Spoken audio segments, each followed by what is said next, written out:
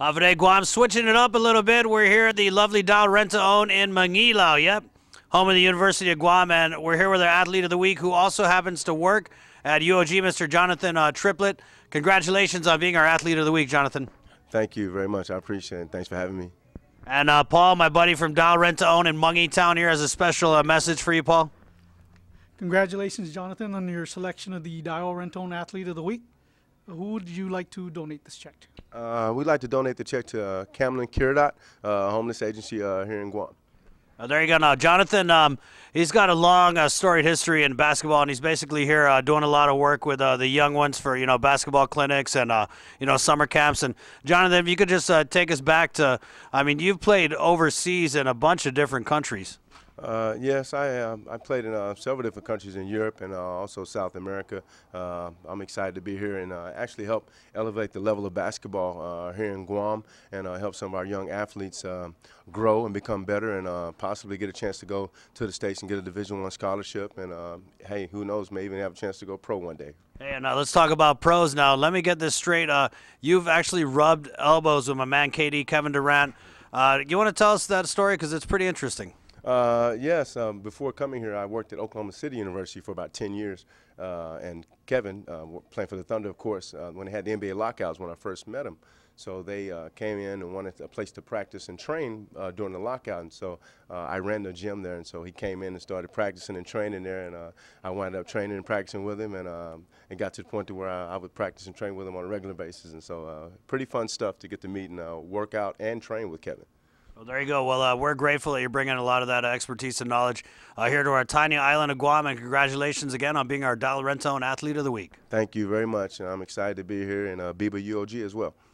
There you go. Go Tritons. You heard it here. KUAM Sports Athlete of the Week is brought to you by GBA Championship basketball game tomorrow at the Phoenix Center at FD with the Sushi Rockets perfect on the year up against the Autospot Phoenix Suns. The Phoenix Suns winless against the Rockets in the GBA regular season. And in the most recent meeting, Autospot led late in the game but ended up losing down the stretch. They made an adjustment from man to zone. Um, I think we, we weren't ready for that at the time. And, you know, with a little preparation in the championship game, we'll probably see a little bit of zone, a little bit of man, and we're, we're ready for that. The game time is scheduled for 7 p.m. for the inaugural championship matchup. Now, point guard Dominic Sablon says the game plan is to hold it down on the D and work as a team. We got to lock down defensively. Uh, Sushi Rockets, they have a lot of offensive weapons, and uh, it's, we're not going to stop any one guy, but what we can do is uh, play some good, solid team defense, and uh, that should definitely help us. Both teams match up fairly well with size inside the paint and players who can knock down the big shots from beyond the arc. But the real question is, will the lack of a bench on the Phoenix Sun side lead to trouble down the stretch? And there's a lot of bragging rights for the Phoenix squad who'll be playing this final game of the year on their home court. We're going to be prepared for that 1-3-1 uh, zone, which we weren't prepared the first time.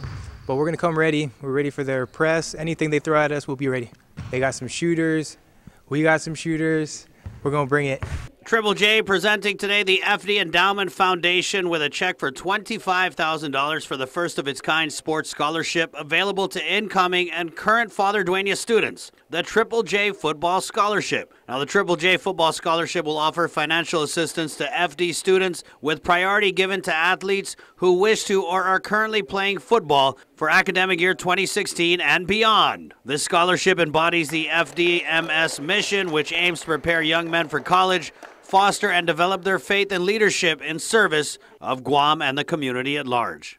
Jon Tuck, Guam's UFC fighter, is still on the card for UFC Fight Night 87, but he'll be facing a new opponent after his original opponent, a German Nick Hein, pulled out of the fight a couple days ago due to an undisclosed injury. Now Tuck, 9 and 2 in mixed martial arts, 3 and 2 in the UFC, will face undefeated fighter Josh Emmett out of California. Emmett 9 and 0 in mixed martial arts, but making his UFC debut. Tuck, though, shook off any doubts about the opponent change, telling the UFC he will, quote, scrap anybody, end quote. With the only real change being Emmett is a southpaw fighter and Hein was an orthodox stance fighter. Now, despite this, Tuck says he trains for everything and anything that may come his way in the octagon. Tuck's fight is slated to air on Fox Sports 1, 3 a.m. Guam time. He'll be fighting on the prelims card for UFC Fight Night 87 with the main event being a heavyweight bout between Alistair Overeem and Andrei Pitbull Arlovsky.